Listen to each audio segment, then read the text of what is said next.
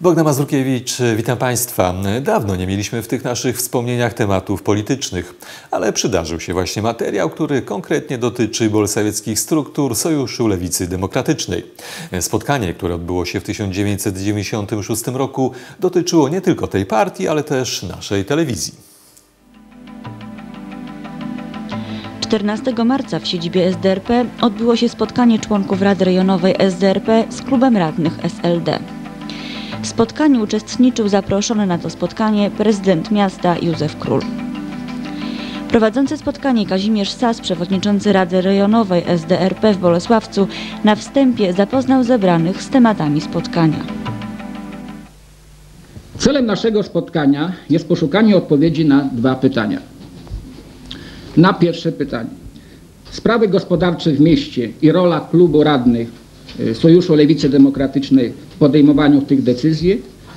Drugie pytanie. Wyjaśnienie sprawy blokowania koncesji na telewizję rozsiewczą przez socjaldemokrację Rzeczypospolitej Polskiej.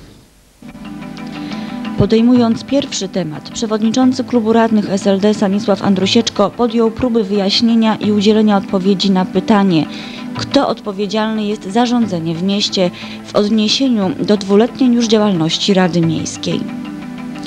Józef Król zauważył, że do podsumowującej działalność Rady dyskusji należy się przygotować. Na podsumowania przyjdzie czas w maju. Mówiąc o dokonaniach Rady, prezydent Król zauważył, że miastem rządzi samorząd zgodnie z ustawą o samorządzie składający się z 32 radnych. Kończąc, prezydent powołał się na słowa prezesa Zarządu Związku Miast Polskich Szczęsnego Kaczmarka. Rura kanalizacyjna nie ma opcji politycznej. I problemy miejskie, komunalne nie muszą się tutaj mieć odcieni politycznych.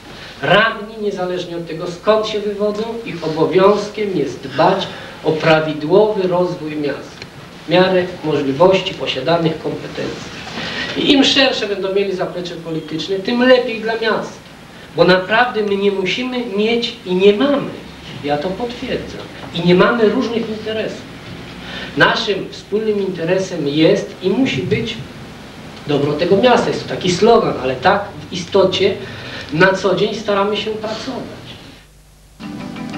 Następnie członkowie SDRP zadawali prezydentowi pytania o szeroko pojętą gospodarkę miasta. Józef Król po raz kolejny wyjaśniał kwestie związane z budżetem miasta, tempem prywatyzacji oraz przyczyną konfliktów między miastem a gminą. Dyskusję na temat telewizji lokalnej w Bolesławcu przewodniczący SAS rozpoczął od zarysowania przemian politycznych, jakie zaszły w Polsce od ostatnich wyborów parlamentarnych, po czym odczytał kilka stwierdzeń i pytań.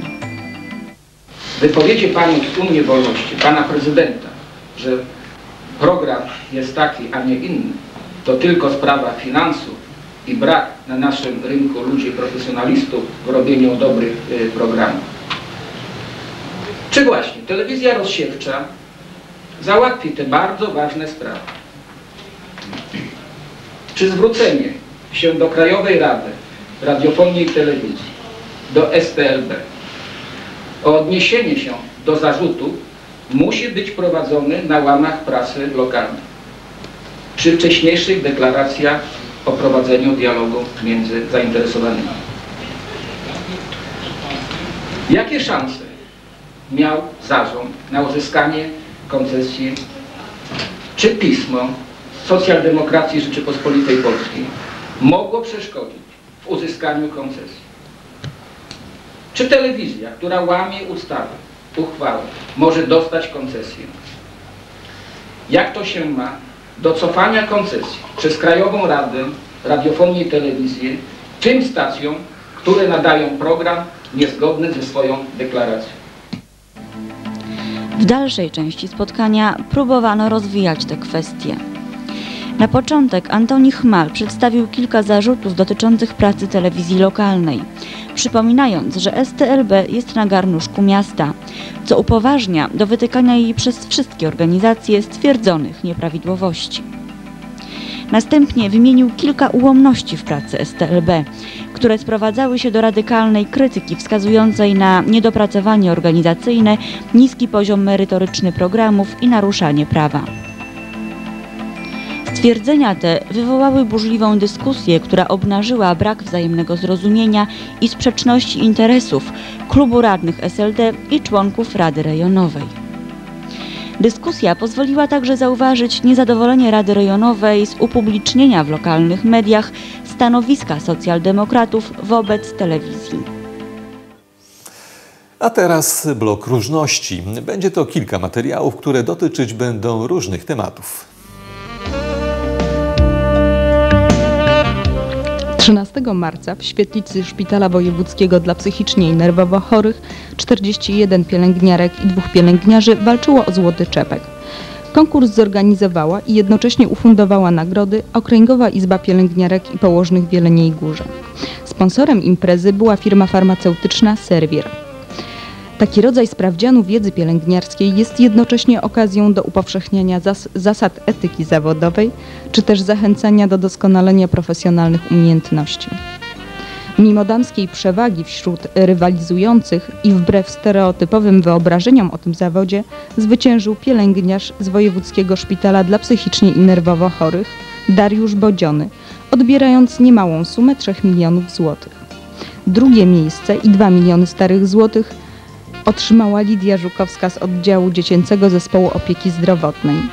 A trzecie miejsce i 1 milion Barbara Kozomaric, także pielęgniarka oddziału dziecięcego zespołu opieki zdrowotnej. Nie wątpimy, że właściciele złotych czepków mają także złote ręce i serce dla swoich pacjentów.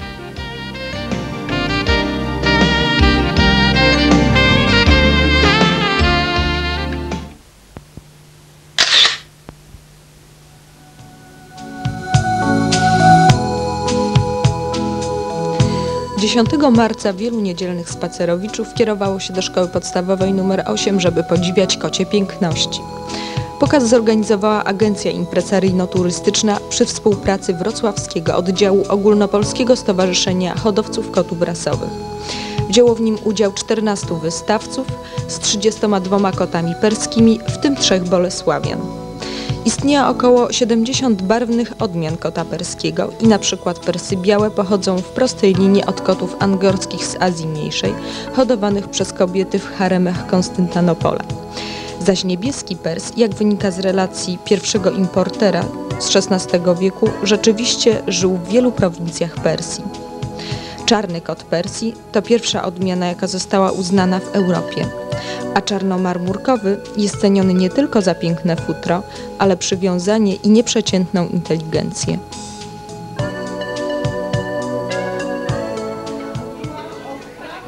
Pomysł zrodził się 5 lat temu, już ponad 5 lat temu. Właśnie moja koleżanka, taka serdeczna, ma właśnie takiego kotka i zawsze mi opowiadała wiele o tych kotkach z takim, ja nie miałam pojęcia, dla mnie to był kot, ja zresztą uwielbiam zwierzęta, ale, ale ona opowiadała to z takim, e, z takim zapałem, z takim oddaniem o tych kotkach.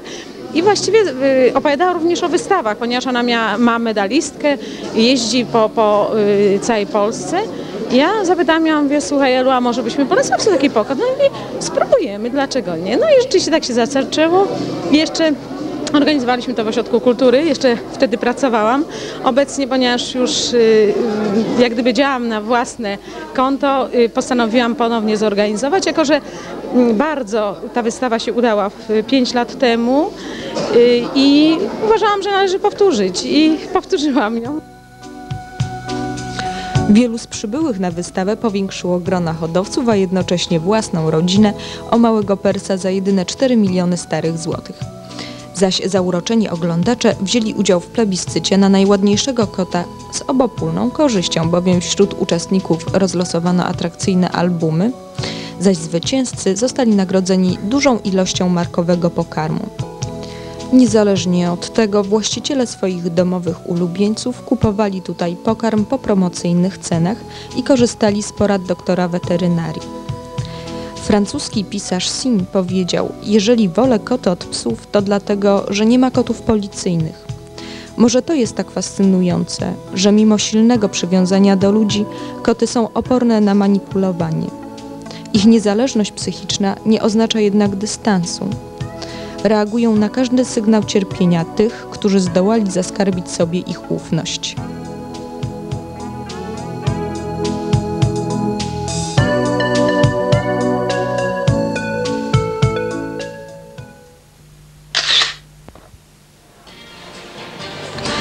Laureaci Nagrody Publiczności drugiego turnieju o Puchar Prezydenta Bolesławca Sebastian Hałocha i Justyna Stefanowska wzięli udział w turnieju towarzyszącym Mistrzostwom Polski w 10 tańcach w Jeleniej Górze 10 marca. Sebastian i Justyna, tancerze Szkoły Tańca Pasja Państwa Skowrońskich, tańczyli po raz pierwszy w klasie D. Spośród 26 par w tej klasie zajęli czwarte miejsce, ustępując tylko parom z Warszawy i Jeleniej Góry.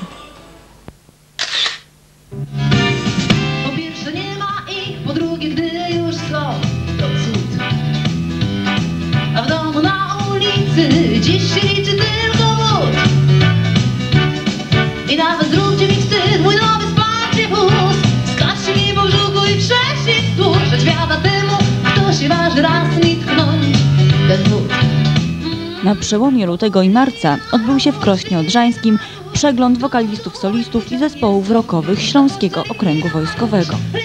W przeglądzie brało udział 180 uczestników, wśród których znalazły się śpiewające bolesławianki Beata Wrzeszcz i Marta Maj, przygotowane przez prowadzącą warsztaty wokalne Aleksandrę Sozańską-Kut, która również dała się namówić na start w konkursie. Start zresztą bardzo udany, gdyż pani Aleksandra przywiozła z Krosna pierwszą nagrodę.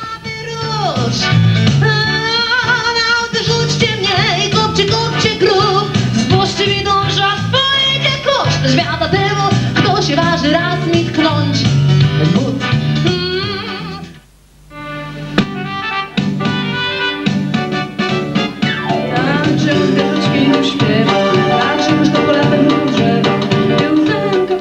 Uwadze jurorów nie uszły też podopieczne zwyciężczyni Beata i Marta, które otrzymały wyróżnienia, co dla obu jest bardzo dużym sukcesem.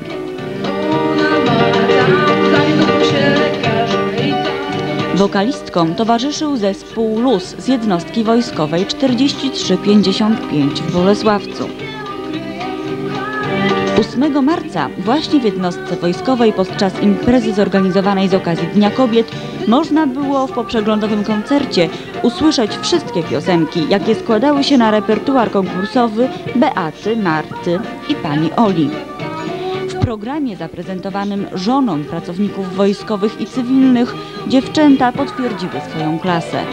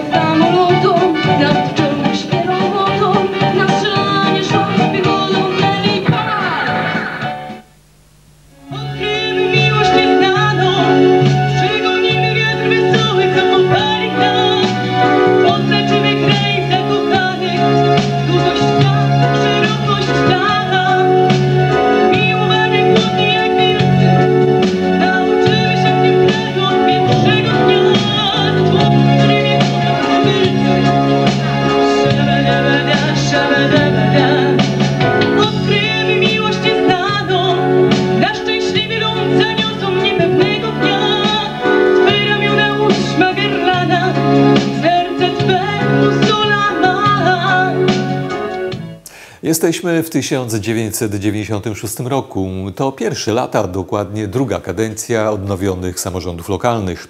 Ten materiał dotyczył będzie budującej się wówczas strategii promocji Bolesławca. Zobaczmy, jak ją wtedy definiowano. Dzień dobry Państwu. Otwieram posiedzenie Komisji Rozwoju Gospodarczego i Finansów w dniu 11, 11 marca 96 odbyło się roku. posiedzenie Komisji Rozwoju Gospodarczego i Finansów Rady Miejskiej.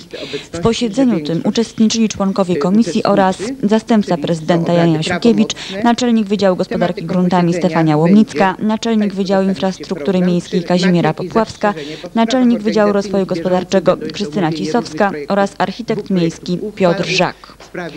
Głównym tematem posiedzenia komisji była promocja miasta. Chcąc mówić o promocji miasta, trzeba najpierw określić przedmiot promocji. Tak wprowadziła w temat naczelnik Wydziału Rozwo- Rozwoju Gospodarczego Urzędu Miasta Krystyna Cisowska. Bolesławiec to miejsce dla inwestorów, turysty, a także istniejące zakłady pracy, wytwarzające artykuły charakterystyczne dla miasta. Bolesławiec posiada wiele atutów, których wykorzystanie może przynieść miastu niewymierne korzyści. Atuty te to położenie miasta, dogodna komunikacja, niezbędne do prowadzenia interesów urzędy, to jest biura notarialne, urząd skarbowy, posterunek celny, firmy prawnicze i zespoły radców prawnych, biura architektoniczne, firmy projektowo-budowlane oraz banki. Atutem jest też kadra kształcona w siedmiu szkołach podstawowych, a także przygotowane do inwestowania tereny. Na temat działek do inwestowania mówili naczelnicy Wydziałów Gospodarki Gruntami Stefania Łomnicka i Architektury Miejskiej Piotr Żak. Omówienie działek przedstawionych do przetargu do zagospodarowania Stefania Łomnicka rozpoczęła od działki zlokalizowanej przy Alei Tysiąclecia. Jeżeli chodzi o sposób zagospodarowania, to zgodnie ze zmianą wprowadzoną do planu ogólnego przestrzennego zagospodarowania miasta, działka może być y, zagospodarowana w taki sposób, że pojawi się tam na przykład stacja CPN-u plus do tego pełna obsługa ruchu turystycznego, a więc jakiś mały hotelik, motelik, czy y, restauracja, czy jakiś bar, y, albo y, może również być tam zlokalizowany przemysł nieuciążliwy, a więc ta uciążliwość musi się zmieścić w granicach działki. To byłaby ta jedna propozycja. Po Kolej- drugiej stronie ulicy również mamy tak, po drugiej stronie ulicy mamy teren, który swego czasu przejęliśmy od y, Bolesławieckiego Przedsiębiorstwa Budowlanego i jest to działka w granicach około hektar 20. Również ona może być przedmiotem zagospodarowania i jeżeli chodzi o plan ogólny przestrzennego zagospodarowania, tylko pod to usługi obsługujące tranzyt. To znaczy, to są usługi związane z turystyką, yy, z, z ruchem kołowym, motele, hotele, yy, stacja paliw, usługi nieuciążliwe dla otoczenia. Nie, nie, Turcja To znaczy, ale w kontekście tam mają problem. Kolejnym miejscem pod inwestycje jest prostokąt ograniczony ulicami Łukasiewicza, Snyka, Karola Miarki i Bielska. W planie ogólnym zagospodarowania przestrzennego teren ten jest przeznaczony pod centrum usługowo-handlowe obsługujące całe miasto. Inną propozycją pod inwestycje jest grunt zlokalizowany w obrębie ulicy Zgorzeleckiej na zapleczu parkingu istniejącego przy restauracji Boska pod cele określone w opracowanej już koncepcji zagospodarowania terenu. Kolejne propozycje to wiążą się z budownictwem mieszkaniowym, które przygotowujemy również do zagospodarowania. I tak, teren w rejonie ulicy Gdańskiej mógłby być przedmiotem przetargu pod budownictwo mieszkaniowe. Byłoby to zagospodarowanie plomby między budynkami 9 a 16. Wstępnie tam już przygotowaliśmy propozycję wydzielenia tego gruntu. Y, Uzgadniamy z Sanepidem możliwość zlokalizowania y, y, śmietników, żeby obsługiwał istniejące i to przewidywane budownictwo. Następna propozycja dotyczy terenów w obrębie ulic Piaskowej i Małej. Proponuje się tutaj zabudowę całej pierzei ulicznej przy ulicy Piaskowej. Działki te są w tej chwili na etapie wydzielania i pozostaje największy rejon do uporządkowania łącznie z zamknięciem ulicy łączącej Piaskową i Kubika. Ta zabudowa wiązałaby się z wyburzeniem na dziko zlokalizowanych szopek i garaży. Koncepcja ta przewiduje również uporządkowanie terenu zlokalizowanego na terenie MZGM i przeznacza dla zespołu szkół mechanicznych nowy teren wraz z parkingiem. A co najważniejsze, koncepcja ta uwzględnia zlikwidowanie targowiska przy ulicy Łokietka. Inną propozycją dotyczącą budownictwa mieszkaniowego to grunty zlokalizowane w osiedlu piastowskim. Dotyczy to gruntu między domem dziennego pobytu a kościołem. Ta działeczka, ona jest y, generalnie cała jest uzbrojona w, w, wszelkie niezbędne media, łącznie z, y, z ciepłem. Jest bardzo dobra, bardzo dobrze zlokalizowana, bardzo ładnie przewietrzana. Obok jest zlokalizowana, zlokalizowany taki pas zieleni oddzielający ją od kościoła. Prawie w centrum chcielibyśmy ją przeznaczyć pod y, budownictwo wielorodzinne, bądź w formie TBS-ów, bądź y, w formie przetargowej konkretnie. Tak. Tak. Budownictwo Wielorodzinne. mieszkaniowe z usługami. W parterze. Jeżeli mówimy jeszcze o budownictwie mieszkaniowym, to y, pod budownictwo wielorodzinne przygotowywane są tereny w zabudowie plombowej. To, o czym już mówiliśmy, ten teren w rejonie ulicy Piaskowej, tam już w tej chwili zostaje wydzielona działka i ona ma być przedmiotem przetargu w najbliższym czasie. Ponadto kolejna plomba do zabudowy to jest y, ulica Wybickiego, Y, Również już jest przygotowywany y, teren. Tej chwili jest on wydzielany przez geodetów. Plomba taka między budynkiem cechu rzemiosł różnych, a tym budynkiem y, będącym własnością Gminy Miejskiej Bolesławiec.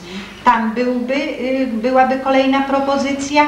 No i również jeszcze wracamy do ulicy Gdańskiej, bo po prostu to, o czym mówiliśmy wcześniej, że po jednej stronie między budynkami 9 a 16 miałaby się pojawić, miałoby się pojawić uzupełnienie budownictwa, to również po drugiej stronie ulicy Gdańskiej, idąc y, w stronę do cmentarza, byłoby to po lewej, za ostatnim budynkiem. Tam został wyburzony budynek i w miejsce tego wyburzonego budynku mógłby się pojawić nowy. Również to będziemy przygotowywać do przetargu. Y, Jeżeli chodzi o budownictwo, jeżeli chodzi o usługi, możliwość zlokalizowania usług ciężkich, uciążliwych, rzemiosła, będzie taka y, możliwość przy ulicy Kościuszki, na zapleczu y, dawnej WPR.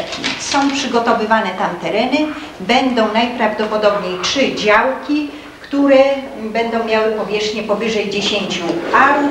Możliwość będzie zlokalizowania właśnie tam ewentualnie transportu ciężkiego czy usług uciążliwych. Y, To również dotyczy ulicy Modłowej. Ulica Modłowa, ruch Cieszkowskiego, bardzo duży areał, y, teren przeznaczony pod usługi y, uciążliwe dla otoczenia. Y, Może nie usługi, a przede wszystkim przemysł, bazy, składy, hurtownie. czym już mówiliśmy, ten teren w rejonie ulicy Bolesławiec, oprócz tego, że jest miastem ceramiki, odbywają się tu plenery ceramiczne, targi ceramiczne, jest Muzeum Ceramiki, stanowić może ba bazę wypadową w Bory Dolnośląskie do pobliskich zamków Grodziec i Czocha oraz do pobliskich stadnin koni. Bolączką miasta, niewątpliwą przeszkodą w ściągnięciu turystów jest brak bazy hotelowej w mieście. Być może w tym roku ta przeszkoda zostanie usunięta. Rozdysponowane zostały y, w ostatnim czasie działki w ramach przetargu y, pod y, budowę hotelu, motelu, a więc y, liczymy na to, że wreszcie ta baza noclegowa w mieście zostanie powiększona. I tak, w rejonie ulicy... Wszystkie motyle zlokalizowane są, za- przepraszam, Proszę, e, uprzejmie. w obrębie istniejącej obwodnicy, to znaczy e, dosyć e, są przede wszystkim w centrum. Pierwsza lokalizacja to jest ulica Zgorzelecka. Polskiego, drugiej Armii Wojska Polskiego Aha. przy restauracji Słoneczna. Więc pierwsza jest zlokalizowana przy restauracji słonecznej. E, Na wolnej działeczce inwestorzy chcieliby tam wybudować w przeciągu tego roku motel na około 50 miejsc noclegowych. W przyszłości e, wykupić również słoneczną. Drugi planowany motel powstanie w okolicach MZGM przy ulicy Dolne Młyny. Na twarz Bolesławca to jest Bolesławiec jako miejsce właśnie dla turysty, miejsce tranzytowe. Bolesławiec ma swoje zabytki. Aby zaistnieć w świadomości potencjalnego turysty, potrzebna jest działalność promocyjna. Jej prowadzeniem zajmuje się właśnie Wydział Rozwoju Gospodarczego Urzędu Miasta, który podejmuje różne formy promocji. I tak, wydano już publikatory własne. Informator miejski, plan miasta oraz film promujący Bolesławiec, zrealizowany przez samorządową telewizję lokalną Bolesławiec. Dystrybucja tych publikatorów odbywa się poprzez kontakty pracowników Urzędu Miasta, kontakty sponsorów i sprzedaż detaliczną, także w Centrum Informacji Turystycznej, która powstanie w Muzeum Ceramiki. W tej chwili powstaje mapa handlowa Bolesławca, której koszty wydania pokrywają sponsorzy. Opracowywane są także dalsze propozycje promowania Bolesławca. Jedną z nich jest teczka ofertowa plus cztery wkładki tematyczne. Tematy wkładek to Bolesławiec a ceramika, spacer po Bolesławcu, Bolesławiec zaprasza inwestorów. Na razie są to propozycje, które będą przedmiotem dalszych dyskusji Komisji Rozwoju Gospodarczego i Zarządu Miasta. Przykładem teczki ofertowej jest oglądana przez Państwa teczka promująca Rudę Śląską. Do propozycji Wydziału Rozwoju Gospodarczego należy też między innymi powstanie albumu Bolesławca, folderów, plakatów i planów miasta z określonymi terenami pod inwestycje. Wszystkie te materiały powstałyby w oparciu o doświadczenia innych miast w Polsce i za granicą. Przede wszystkim niezaprzeczalnym atutem Ważną formą promocji jest zaistnienie w katalogach promocyjnych Polski. Bolesławiec znalazł dla siebie miejsce w katalogu targowym Teraz Biznes, wydanym przez Centrum Promocji Gospodarczej. Katalogu tym znaleźć można dane na temat oferty inwestycyjnej gminy, liczbie podmiotów gospodarczych, w tym spółek prowadzących działalność w sekcjach produkcyjnej, budowlanej, handlowo-hurtowej lub detalicznej, a także hotelarsko-gastronomicznej. Funkcję promującą miasto spełnia też profesjonalnie wydany album Artystyczna Kamionka Bolesławca, wydany przez Muzeum Narodowe we Wrocławiu przy udziale Polskiej Akademii Nauk, Muzeum Ceramiki w Bolesławcu i Spółdzielni Rękodzieła Artystycznego Ceramika Artystyczna w Bolesławcu. Na szerszy odbiór propozycji miasta można liczyć poprzez zamieszczanie informacji o Bolesławcu w powstającym gospodarczym atlasie Polski, mającym powstać w formie katalogu i komputerowej bazy danych. Oferta zawarta w albumie będzie szeroką informacją o Polsce, warunkach inwestowania w Polsce skierowaną do inwestora zagranicznego. Informacje te będą dystrybuowane poprzez biura radców handlowych, ambasady oraz sieć internet. Wiele uwagi podczas posiedzenia Komisji Rozwoju Gospodarczego poświęcono targom i wystawom. Krystyna Cisowska przedstawiła propozycję wystawy własnej, promującej artykuły wytwarzane w Bolesławcu.